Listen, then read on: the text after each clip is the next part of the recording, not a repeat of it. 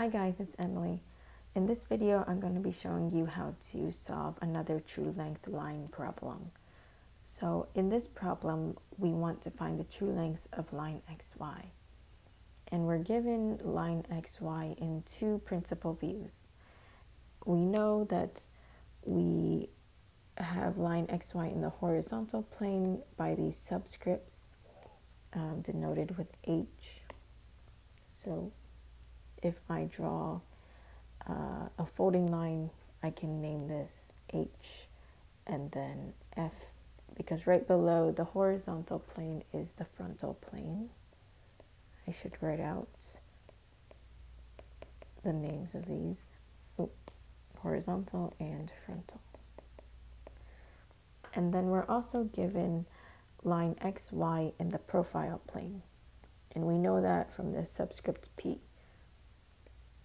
So if I separate also the frontal plane from the profile plane with another folding line, this is F and P for profile.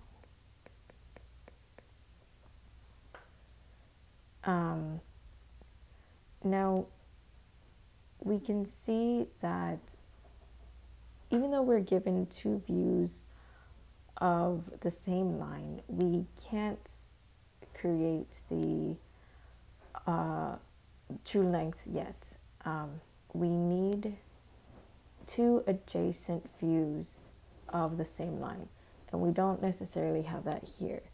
Um, so we need to complete the frontal view of line xy before we can proceed with drawing our auxiliary view uh, to find our true length.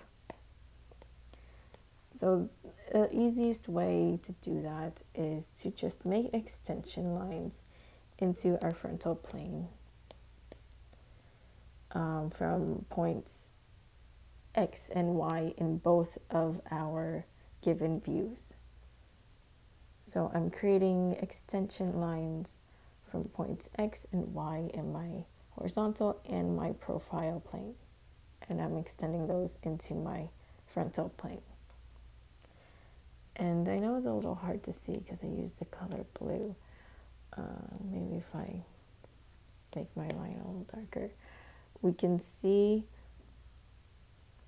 we can see that where these lines intersect, where the horizontal and vertical lines intersect, um, is where our point x is going to go in our frontal plane. So we have x, f and then we can see from our extension lines um, from YH and YP that our YF is going to go here. So now I'm just connecting those points and I've completed that line in our frontal view or our front plane. So now, um, now we have more than enough information to construct our true length line. And we can make that pretty much anywhere. Um, the rule of thumb is to create your auxiliary view where you have the most room.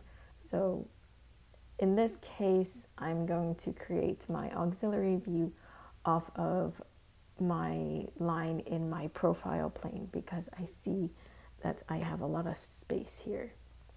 You could also create um, your your true length line in this space or any space uh, where you have um, another view of your line, but it just matters that um, that space is available.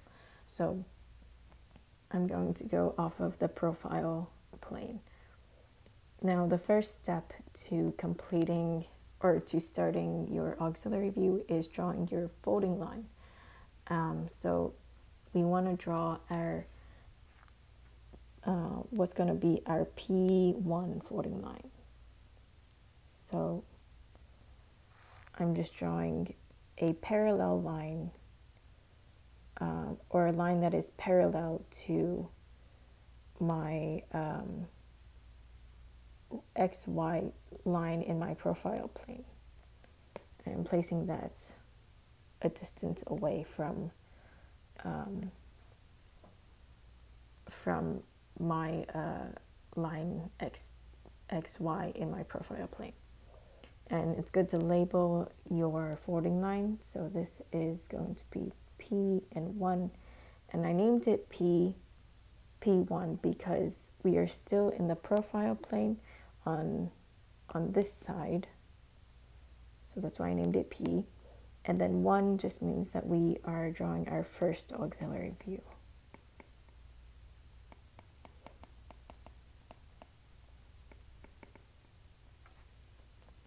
And so the next step is to draw extension lines that are perpendicular to our P1 drawing or to our P1 auxiliary folding line. And those are going to start off of the points that we've uh, created, or, or not the points that we've created, but the points that we have um, X and Y. So the easiest way for me to do that would be to just make a parallel line and then I'm just going to rotate this 90 degrees. And now I have a line that is perpendicular to my auxiliary folding line.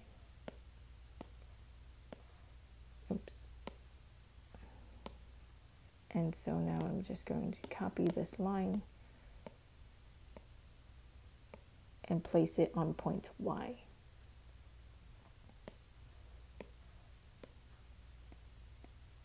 And I'm just going to show that this is perpendicular here and here. Okay, so now the next step is to count two folding lines back. So we made this folding line, so this is one folding line P1, and then uh, our other folding line would be FP, so this would be 2. Um, and note that I'm not jumping all the way to the HF folding line. Uh, that would be three folding lines back. So um, we're primarily working with um, the profile view and the frontal view. Okay, and so, and also it's because it's, we're working with the frontal view, not the horizontal view, because it's the one that is closest to our, um, our profile plane. Okay, and so now what we're going to do is we're going to take the perpendicular distance from our FP folding line to our points that make up line XY in our frontal plane. So I'm going to take the horizontal distance and see this is perpendicular to our folding line and the perpendicular distance from the folding line again to our point X in our frontal plane. So once we have these distances, now what we need to do is we're just going to take these distances. So I'm going to start with a distance from, oops, from um, point X to our folding line. And I'm just going to move that over and place it on the extension line that we made in our auxiliary view. I'm just going to rotate it slightly.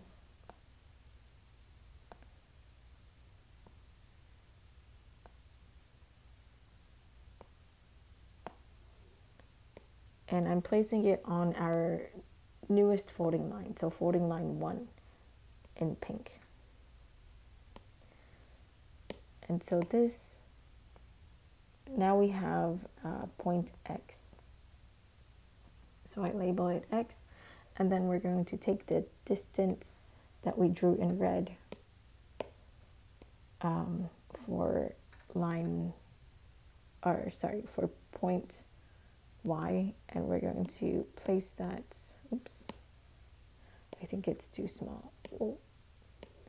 I, I can't grab it necessarily, so I'm just going to draw a line down here because we know that this distance is just one square in length.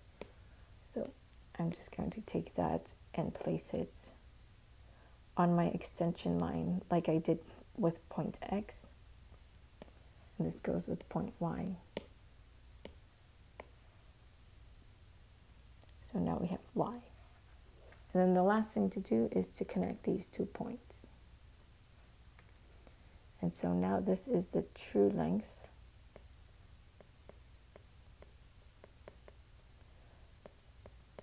TL for short of line XY.